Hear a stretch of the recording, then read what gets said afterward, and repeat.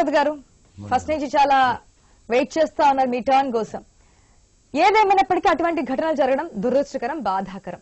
రాష్ట్రంలో ఎప్పుడూ శాంతిగా ప్రజాస్వామ్యం అనేది శాంతి భద్రతలు పరిరక్షించుకోవాలి. ఇటువంటి ఘటనలు చోటు చేసుకోకూడదు. కేవలం రాజకీయ పార్టీలో ఉండడం లేదు. అంటే రాజకీయ పార్టీల నాయకులు మాత్రమే ఉండట్లేదు పుంగనూరులో కావచ్చు చిత్తూరులో కావచ్చు ఎక్కడైనా ఏపీ మొత్తంలో. కాకపోతే ఇటువంటి ఘటనలు చోటు చేసుకోవడం వల్ల మిగిలిన ప్రజలు ఎంత సఫర్ అవుతున్నారు? అసలు నిన్న ఘటనకు సంబంధించి మీ ఒపీనియన్ ఏంటి? ముందుగా ఐ న్యూస్ ఫ్లాష్కి నమస్కారం. అలాగే ప్యానల్లోని పెద్దలకి మీకు కూడా నమస్తే అండి. ఒక విషయం నేను క్లియర్గా చెప్పగలను. ప్రతిదానికి కొన్ని మూలాలు ఉంటాయి. మూలం లేకుండా ఏది జరగదు. రెండోది నిన్న చంద్రబాబు నాయుడు గారి ప్రసంగం. మనం జెడ్పీటీసీలో మనం ఎంపీటీసీలో మనం అంతా వాళ్ళే అన్న దగ్గర. నిజంగా జెడ్పీటీసీ ఎంపీటీసీ ఎలక్షన్స్లో స్వచ్ఛందంగా పోరాటం చేసింది జనసేనే. కష్టాలన్నీ వాళ్ళే వచ్చుకుని దెబ్బలు తిన్నారు ఇందాక భారతి గారు చెప్పినట్టు నిజంగా కష్టం అంతా వాళ్ళది. గెలుపు వైఎస్ఆర్సీపీ దట్స్ ఇన్వెటబుల్ ఎందుకంటే వీళ్ళు ముందే క్యాడ్ వదిలేశారు. ఇక్కడ ఈ ఎప్పుడైతే ప్రాజెక్ట్ సందర్శన అన్నది ఎప్పుడైతే ప్రాతినిధ్యం వహిస్తున్న చంద్రబాబు నాయుడు గారు ఇది ఆశ్చర్యకరమైన విషయం ఏంటంటే పులివెందులు ఎందుకు జరగలే ఇక్కడ ఎందుకు జరిగింది అన్నది దీన్ని ఆలోచించుకోమనండి ఫస్ట్. పులివెందులు జరగాలి ఇది. బట్ సంయమనం పాటించిన వైఎస్ఆర్సీపీ శ్రేణులు. ఎందుకు చెప్తున్నానంటే దీనికి మూలం గురించి నేను మాట్లాడతా ఇప్పుడు. అసలు నిజంగా నిన్న జరిగిన ఘటనలో పోలీస్ వ్యవస్థకి మనందరం రుణపడి ఉన్నాం రెండు చేతులు దండం పెట్టాలి. అందులో ఆ ఎస్పీ గారు కొత్తగా చార్జ్ తీసుకున్నారు. Young and dynamic SP. సహనం అంత సహనం ఆయనకి ఎక్కడి నుంచి వచ్చిందో నిజంగా రెండు చేతులు దండం పెట్టాలి. ఇందాక శ్రీనివాస్ చౌదరి గారు చెప్పేటువంటి వజ్రరావు వాహనం. తపకాసులు దాంట్లో పెడితే కాల్ చేశారు తిరగేశారని. IPC section hundred తెలుసామా? Self defence and as well as వాళ్ళ ఆస్తుల రక్షణ అన్న దాంట్లో ఫైర్ ఓపెన్ చేయొచ్చు. They have every right to do the firing కానీ నిన్న ఫైరింగ్ జరగకుండా ఒక్క ప్రాణ నష్టం కూడా జరగనందుకు ఆ పోలీస్ వ్యవస్థ పాటించిన సంయమనానికి సహనానికి రెండు చేతులు ఎత్తి ఆంధ్రప్రదేశ్ ప్రజలు రుణపడి ఉన్నారు రెండోది three not seven the provoking and as well as భాష నియంత్రణ కోల్పోవడం. ఇవాళ my prediction is not wrong ఖచ్చితంగా చంద్రబాబు గారి మీద క్రిమినల్ కేసు ఫైల్ చేస్తారు ఇవాళ. మీరు రాసుకోండి ఇది కూడా నేను చెప్తున్నా. ఇది ఎందుకు ఇప్పుడు మూలాల దగ్గరికి వెళ్దాం? ఎప్పుడైతే ఈ బీటెక్ రవి అనే వ్యక్తి ఈ ఒక ఒక ప్రైవేట్ ల్యాండ్ సెటిల్మెంట్ ఇష్యూలో మొన్నటిదాకా బెయిల్ వచ్చేదాకా పరారులో ఉండి మళ్ళీ వచ్చి జాయిన్ అయ్యాడు. ఇప్పుడు లైమ్ లైట్లో ఉన్నాడు. ఇక్కడ in the absence of people అంటే భాస్కర్ రెడ్డి గారు ఇలా అందరూ జైల్లో ఉన్నారు కాబట్టి అక్కడ ఒక ఇనిషియేషన్ తీసుకోబోయారు.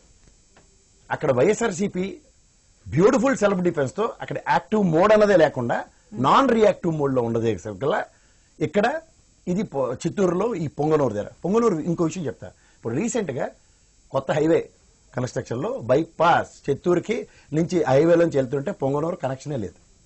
ముఖ్యంగా చంద్రబాబు నాయుడు గారు జెడ్ ప్లస్ కేటగిరీ ఆయన one one week schedule before ఇవ్వాలి.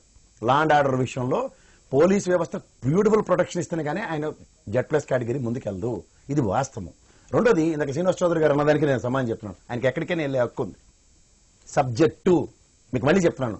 జెడ్ ప్లస్ కేటగిరీ ఉన్న వ్యక్తి కూడా ఎవరో ఇంటికి పరామర్శకి వెళ్ళడానికి ఈ- డీవియేషన్ ఆయన తీసుకునే హక్కు ఉంది. ఇది కూడా నేను చెప్తున్నా. కానీ అంగడిలో జరిగిన అల్లర్లు ఏవైతే ఉన్నాయో దాన్ని దృష్టిలో పెట్టుకుని పొంగనూరులో నాటలవాడు. రెండు వేల మంది పైచిలకమ్మ పొంగనూరు నుంచి లోపటి నుంచి ఆ బ్యారికేడ్లను దాటుకుని ఎరగొట్టడానికి లోపలికి వెళ్ళడానికి లోపలికి ఆహ్వానించడానికి సమాయత్తమే ఉన్నది. ఇస్ ఆల్ ఒక చెప్పాలంటే పోలీస్ వ్యవస్థకి ఛాలెంజ్ చేసే అంత సిచ్యువేషన్ డ్రైవ్ అయింది అక్కడ. వాళ్ళకి తలలో పగిలిన తర్వాత కూడా బాష్పవాయుని మాత్రమే ప్రయోగించి ఆపిన దానికి నిజంగా వాళ్ళ సహనాన్ని మెచ్చుకోవాలి. అండ్ మోర్ ఇక్కడ మీకు ఇందిరాగాంధీ గారు ఉదంతం అని చెప్పారు. చాలా మంచి విషయం అది. అది నిజంగా రాజకీయంలో ఆ విధమైన సుహృద్భావ వాతావరణంలో సూపర్. నేను కాదంట్లే. బట్ ఇక్కడ you need to understand one thing ఆనాటి ఆయనలో ఇందిరాగాంధీ గారు కానీ రామారావు గారు కానీ జెడ్ ప్లస్ కేటగిరీస్ లేవు.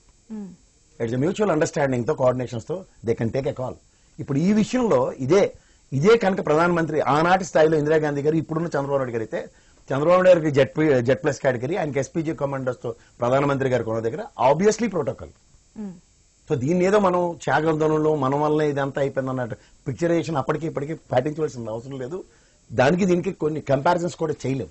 ఇక్కడ మీకు ప్రోటోకాల్ విషయం కన్నా జెడ్ ప్లస్ కేటగిరీ అన్నదానికి ఉన్న శాంచువిటీని ఆయన విషయంలో ప్రొటెక్షన్లో టూ హండ్రెడ్ పర్సెంట్ ఎందుకంటే థ్రెట్ ఉన్న మనిషి ఆయన. జెడ్ ప్లస్ కేటగిరీ ఇచ్చారంటేనే ప్రాణానికి విపరీతమైన ప్రమాదం ఉన్నప్పుడే ఆ సెక్యూరిటీ ఉంటుంది. నేను దానికి తోడు ప్రొయాక్టివ్గా సెంట్రల్ గవర్నమెంట్ కూడా ఇంకొంచెం స్ట్రెంథన్ చేయమంది సెక్యూరిటీ. అలాంటప్పుడు సంబంధిత ప్రసాద్ గారు. ఓకే నిన్న మీరు నిన్న జరిగిన ఘటన కుప్పంలో? లాస్ట్ టైం నేను చెప్తుంది అదే. ఇదేం కర్మ మన రాష్ట్రానికి అని చెప్పి వెళ్తున్నప్పుడు ఇదే స్థాయిలో రాళ్ళ దాడులు అక్కడ అన్నా క్యాంటీన్ పెడుతుంటే ఆ ఫ్లెక్సీలు చించేయడం ఎన్ని గంటలు మనం చూడలేదంటారు? అమ్మ నేను ఒకటి చెప్తాను. ఫ్లెక్సీలు చెంపడం అన్నది కార్యకర్తలు రెండు పార్టీలు మూడు పార్టీలు నాలుగు పార్టీలు అయినా సంయమనాలు ఉండవు వాళ్ళకి. ఇప్పుడు పవన్ కళ్యాణ్ గారి విషయంలో కూడా ఆ అవతల వాళ్ళు చాలా ప్రొయాక్టివ్గా రియాక్ట్ అవుతారు వీళ్ళు అంతా రియాక్ట్ అవుతారు. ఎందుకంటే అది ఇండివిజువల్గా ఒకడు ఆయన నాయకుడు వచ్చే టైంకి నేను కనబడాలి అన్న దృష్టిలో పెట్టుకున్న ఫ్లెక్సీ సో ఆ నాయకుడికి కొంత శ్రేణి ఉంటుంది. అది కనుక చెంపబడినప్పుడు ఆ శ్రేణులు స్పాంటేనియస్గా రియాక్ట్ అవుతారు. సో అది ఏమవుతుందంటే అక్కడ ఆ గలాబాలకి ఎక్కువగా ఛాన్సెస్ ఉంటాయి. సో దీన్ని నియంత్రించడానికే పోలీసులు విశ్వ ప్రయత్నం చేస్తూ ఉంటారు. సో అలా ప్రతి ఒక్కరిని మానిటరింగ్ చేసుకుంటూ ఈ ఫ్లెక్సీల విషయంలో అది ఒక పార్టీ కింద కన్ఫైన్ అయ్యే దగ్గర ఒక ఇండివిజువల్ కెపాసిటీతో కొంతమంది చేస్తున్న దాష్టికానికి వ్యవస్థనే మనం ఆపాదించి మాట్లాడుతాం. అది పోలీస్ వ్యవస్థ. సో ఇవాళ పోలీస్ వ్యవస్థ అన్నది ఇవాళ ఏ ప్రభుత్వం ఉన్న గతంలో చంద్రబాబు గారు ఉన్నప్పుడు కూడా ఇదే లాండ్ ఆర్డర్ విషయంలో అవతలను నియంత్రించడానికి ఎలా వాడారో అందరికీ తెలుసు. అది వైఎస్ఆర్సీపీ అవనండి బీజేపీ అవనండి జనసేన అవనండి ఇప్పుడు వైఎస్ఆర్సీపీ ఇదే పని అవతల పార్టీలు మీద చేస్తుంది. ఇక్కడ ప్రైమ్ ఆఫ్ ఫేస్గా ప్రతి ఒక్కరు లా అండ్ ఆర్డర్ ఇష్యూ మీదే హెడ్డింగ్ పెట్టుకుని ప్రతి ఒక్కరు మాట్లాడుతున్నారు. ఇంత జరుగుతున్న లా అండ్ ఆర్డర్ ఇష్యూలో I want say one thing Amit Shah గారు లాంటి వ్యక్తి వచ్చి అంటే జాతీయ హోమ్ మినిస్టర్ అయినా ఆయన వచ్చి కూడా లాండ్ ఆర్డర్ విషయం ఒక్కరు కూడా మాట్లాడకపోయిన తర్వాత ఆయన తదనంతరం ప్రతి ఒక్కరు లాండ్ ఆర్డర్ ఇష్యూతో మాట్లాడుతున్నారు. మీరు ఇది గమనించండి first of all they want to break the ice of law and order విషయంలో ఇక్కడ పోలీస్ వ్యవస్థ త్రూగా అరాచకం జరుగుతుంది అన్నది ప్రజల్లో పెనట్రేట్ చేయడానికి ట్రై చేస్తున్నారు. How best they can how best they can అన్నది చాలా ఇంపార్టెంట్ ఎప్పుడైతే ఇప్పుడు ఒక అనిశ్చితి అన్న దాన్ని స్ట్రైవ్ చేసుకుంటూ ముందుకెళ్ళడానికి ఈ రాయలసీమ సెన్సిటివిటీని ఈ రోజు ఫ్యాక్షన్ నిర్మూలించిన ఘనత తెలుగుదేశం గవర్నమెంట్ ముఖ్యంగా చంద్రబాబు నాయుడు గారు అన్నప్పుడు మనం గ్యారంటీగా ఆయన క్రియేట్ ఇవ్వాలి ఈ ఫ్యాక్షన్ నిర్మూలన అన్న దాంట్లో. ఎప్పటి నుంచో ఎప్పటి నుంచో ప్రయత్నానికి ఒక సఫలీకృతం వచ్చిన తర్వాత ఏ ఆపరేషన్ వజ్ర ఇవాళ మీకు ఓల్డ్ సిటీలో ఎప్పుడైతే మనకి సమయము సహనం కోల్పోయిన జరుగుతున్నప్పుడు జరుగుతున్న మత ఘర్షణలకి రాయలసీమలో ఇలాంటి ఫ్యాక్షన్ ఉదంతాలని నివారించడానికి పరిరక్షించడానికి ఆపరేషన్ వజ్రాలు త్రూగానే సస్టైన్ అయిన మన ఆంధ్రావన్లో ఇవాళ మళ్ళీ ఇలాంటి విపరీతాలకి పునరుత్తేజం తెచ్చుకుంటున్నాం అంటే ఎక్కడికి వెళ్తున్నాం మనం?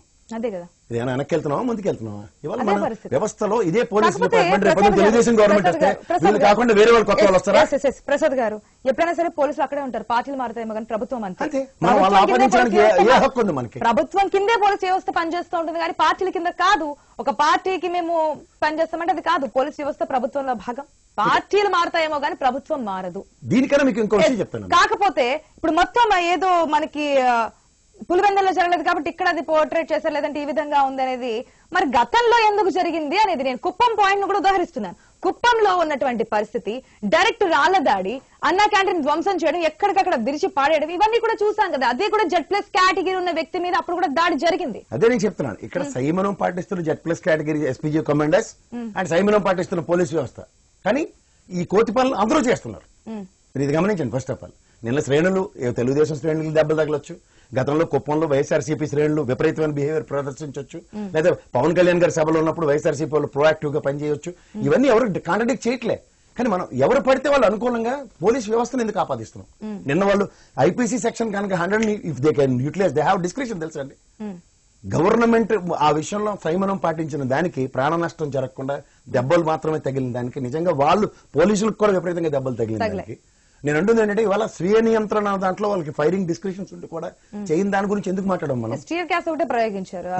ఇలాంటప్పుడు నేను అంటుంది ఏంటంటే వాళ్ళకి ఐపీసీ సెక్షన్ అంత క్లియర్గా కేటగారికల్గా ఆస్తి నష్టం జరుగుతున్నప్పుడు సొంతంగా ప్రాణానికి ప్రమాదం వచ్చినప్పుడు దళ బాధలైనప్పుడు ప్రాణ హాని కాకుండా ఇంకే ఉంటుందమ్మా. కానీ మనం అనుగుణంగా మనం మాట్లాడేస్తాం అంటే ఉమ్.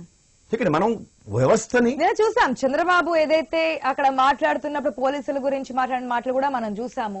ఆ ప్రొవోకింగ్ యాటిట్యూడ్ ఎందుకు. వస్తుంది? ఇప్పుడు ఒక మనిషి ఆయన స్థాయికి ఈ రోజు దాకా సంయమనం పాటించిన చంద్రబాబు నాయుడు గారు సంయమనం ఎందుకు కోల్పోవాల్సి వస్తుంది? అదే పాయింట్ అదే పాయింట్ కనిపిస్తా ఉంది. ఇప్పటి వరకు సహనంగా వ్యక్తులు ఎందుకు సహనం కోల్పోతున్నారు. నిన్న కాక మొన్న ఏదైతే సభ నిర్వహిస్తున్నప్పుడు ఇంత మంది జనం వస్తున్నారు పులివెందులలో వస్తున్నప్పుడు పోలీసులు ఎక్కడున్నారు? ఈ వీళ్ళ వీళ్ళు తన్నుకుంటున్నారు లేదంటే తోపులాట జరుగుతుంది పోలీస్ వ్యవస్థ ఎక్కడుందని చెప్పి అదే సభా వేదిక మీద అదే ఏదైతే రోష నిర్వహిస్తున్నా అక్కడి నుంచే మాడున్నారు. సో పులివెందుల. లాంటి ప్రాంతంలో పోలీసులు వైఎస్ఆర్సీపీ శ్రేణులు నివారించగలిగారు.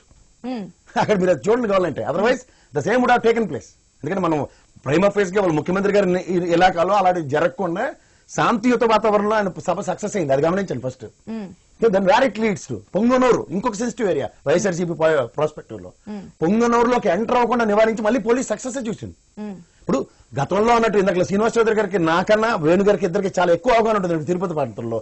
చిత్తూరు హైవేకి బైపాస్ లోంచి పొంగనూరులోకి ఎంట్రీకి అది తెలుగుదేశం వాళ్ళు స్వచ్ఛందంగా రిక్వెస్ట్ చేస్తున్న ఉదంతమా? లేదా యాజ్ పర్ ఎజెండా ఉందా? చెప్పండి ఎందుకంటే. ఎజెండాలో ఉన్నదాన్ని నేను కూడా చంద్రబాబు నాయుడు రోడ్ రెండు రోడ్ మ్యాప్ ఇచ్చిన దాని ప్రకారం వెళ్ళున్నారా? లేదంటే కావాలని ప్రీ ప్లాన్డ్గా ఏదైతే వైసీపీ మీద ఒక నింద వేయాలి లేదంటే ప్రభుత్వం ఈ విధమైన అరాచగా సృష్టిస్తుంది అని చెప్పి ప్రజల్లో పంపించాలనే ఒక ఉద్దేశంతోనే చేస్తున్నారా? మీరు రోడ్ మ్యాప్ ఇచ్చిన దాంట్లో పుంగనూరు ఉందా? రోడ్డు మ్యాప్ కన్నా అంగంలో జరిగిన అల్లర్లకి ఎస్పీ గారు ప్రొయాక్టివ్గా పొంగనూరులోకి అలౌ చేయకపోవడం కూడా ఖచ్చితంగా యాక్సెప్ట్ చేయాలి. చెప్పండి శ్రీనివాస్ చౌదరి గారు. ఇక్కడ డీజీపీ గారికి.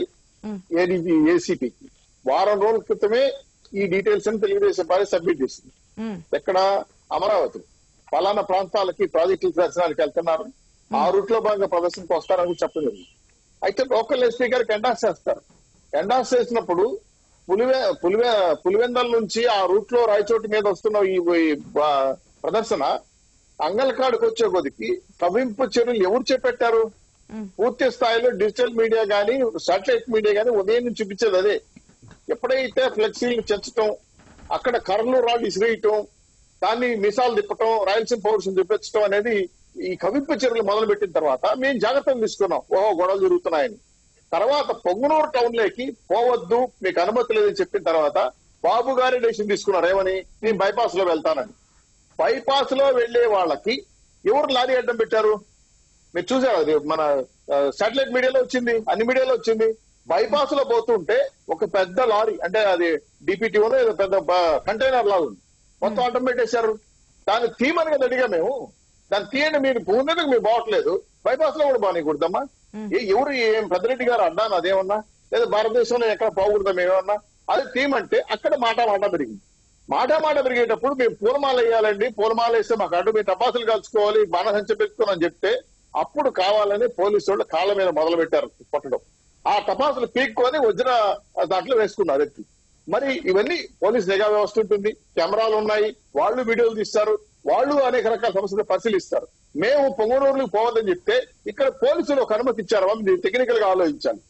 పదకొండు గంటల ఇరవై ఆరు నిమిషాలకి నల్ల సొక్కాయలు వేసుకొని నల్ల బెల్లులు పెట్టుకొని నల్ల జెండాలు పెట్టుకొని వైసీపీ కార్యకర్తలు వైసీపీ జెండాలతో మాకు నిరసన వ్యక్తం చేస్తారు ఎదురుగా మాకు వ్యతిరేకంగా నిరసన తెలియజేస్తున్నారు అంటే దీని అర్థం ఏంది మీకు నాకు కుదరకపోతే మీ ముందుకు వచ్చి నేను మిసాలు చెప్తాంటే మీరేమనుకుంటారు చెప్పండి. ఇది ఇది రచ్చగొట్టే విధానం కాదా? పోలీసులు ఈ- ప్రదర్శనకి నలభై నిరసన కార్యక్రమం గట్ట అనుమతిస్తారు మమ్మల్ని ఏమో పొంగనూరులకు రావద్దన్నారు. మేము పోలేదు. మేము బైపాస్లో పోతున్నాం. బైపాస్లోకి వచ్చి జెండాలు పట్టుకో. నలభై రోజులు తీసుకొని వచ్చి గో బ్యాక్ చంద్రబాబు నాయుడు గారు నినాదాలు చేస్తూ చంద్రబాబు డౌట్ అని చెప్తూ కావాలనే కావాలని ఎత్తుకుంటే విధానాలు చేయటం వల్ల దర్శనం మొదలు పెట్టింది ఆ వాళ్ళే కదా. తద్వారా ఈ రోజు మేము వాయిదా వేసుకుంటున్నాం పొంగనూరు బానికుండా బైపాస్లో పోతాం. తీయండి. అంటే తీయకుండా పెట్టారు. వచ్చిన ఇరవై కార్లను అద్దాలు కొట్టారు. టూ వీలర్ తగలబెట్టారు మీరే గమనించండి ప్రైవేట్ ఆర్టీసీ బస్సులు రాళ్ళేశారు కార్యకర్తలు చల్లసిదరు కొట్టారు. ఆ వీడియోలు చూస్తున్నారు కదా మీరే. ఇంత దుర్మార్గంగా మాట్లాడుతా ఉంటే పెద్దిరెడ్డి గారు పోలీస్ డీజీ డిఎస్పీ గాని పోలీసులు గాని ఈ విధంగా అన్యాయం జరుగుతాయని చెప్తా అంటే పట్టించుకునేది లేదు మీకు చూసు మీకు వీడియో చూడండి. పోలీసులు పక్కలే ఉన్నారు. ఇన్నోవా కార్ని ఒక పెద్ద కర్రతో రాయితో కొడుతున్నాడు అద్దాలు పగలుతున్నాయి పోలీసులు పక్కన ఆనుకోనే ఉన్నాడు. మరి ఎందుకు నివారించలేదు పోలీసు వాళ్ళు అంటే వైసీపీ కార్యకర్తలు చేస్తున్న దాడులు పూర్తిగా సపోర్ట్ చేస్తున్నారా? ఫస్ట్ వైసీపీ నాయకులు నిరసన తెలియజేసేందుకు ఇచ్చిన పర్మిషన్ ఎట్టిచ్చారు అంటే అధికార పార్టీకి ఒక న్యాయం ప్రతిపక్షానికి ఒక న్యాయమా? ఏ న్యాయం ఇది నాకు అర్థం కాలేదు. మేము కవింపులు జరిగి వచ్చేసి ఉంటే మేము కొట్టుంటే మా కార్యకర్తలు దెబ్బతింటారా? వాళ్ళ కార్యకర్తలకు దెబ్బతినలేదు. ఎక్కడన్నా వైసీపీ కార్యకర్త ఒక కార్యకర్తను దెబ్బతిన్నాడమ్మా? ఒక వరకైనా తలకాయ దెబ్బతిందా ఇరవై ఏడు మంది హాస్పిటల్ పాలయ్యారన్న తెల్లారితో ఈయన వాస్తవాలు చెప్తే అంట ఇరవై ఏడు మంది హాస్పిటల్ పాలయ్యారు. యాభై. మంది పోలీసులు హాస్పిటల్ పాలైనారు. కూడా ఏం జరగలేదంటారు ఏంది?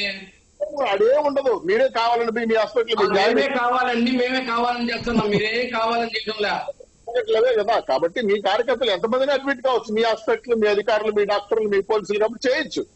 మా కార్యకర్తల జరిగిన కష్టాన్ని చూస్తే మేము అడిగిన తప్పని భావిస్తే ఇరవై ఏడు మంది పోలీసు తలకాయలు పగలగొట్టి యాభై మంది వైఎస్ఆర్సీపీ నాయకులు తలకాయలు పగలగొట్టి అన్ని మా పైన బురదలేస్తున్నారు అతని కాదు వైసీపీ వాళ్ళు ఎందుకు మీరు నిరసన తెలియజేశారు? మాకు ఎదురుగా వచ్చి మీరు పోయి ప్రైవేట్ కార్యక్రమం ఆ రోజు ఎందుకు చేశారు మీరు? ముందే ఎందుకు ప్లాన్ చేసుకుని నల్ల సొక్కాయలు నల్లబండాల నల్ల బెల్లు ఎందుకు వచ్చారు? కావాలని రెచ్చగొట్టాలంటే కదా రాళ్ళు ఎందుకు వేశారు? పోలీసు తల్లిదండ్రులు పగలు కొట్టారు? వీటికన్నింటికి సాక్ష్యాలు ఉన్నాయమ్మా. నేను కోరుకునేది ఒకటే ఈ రాష్ట్రంలో ప్రజాస్వామ్యయుతంగా ప్రతిపక్షాలు ఏ కార్యక్రమాలు చేయకూడదు. చేయకూడదంటే జీవో నెంబర్ వన్ ఎక్కిపోయింది హైకోర్టులో వ్యతిరేకత వచ్చింది. ఇప్పుడు ప్రతిపక్షాల్లో తిరగాలంటే ప్రజల ఆదరణ పెరుగుతుంది కాబట్టి నేను రెండు వేల ఇరవై మళ్ళీ గెలవలేను. గెలవకుండా ఉండాలంటే ప్రతిపక్ష ప్రజలు తిరగకూడదు. దానికోసం చేస్తున్న ఈ ధ్వంస రచనే గాని తెలుగుదేశం పార్టీ జనసేన బీజేపీ ఇంకో ఎవరు ఎవరి మీద గొడవ చేయలేదు చెప్పండి. బీజేపీ సత్యకుమార్ మీద గొడవ చేయలేదా? కన్నా లక్ష్మీనారాయణ మీద గొడవ చేయలేదా? ఆయన సౌమ్యరాజు మీద గొడవ చేయలేదా? జనసేన నాయకుడు చేయలేదా?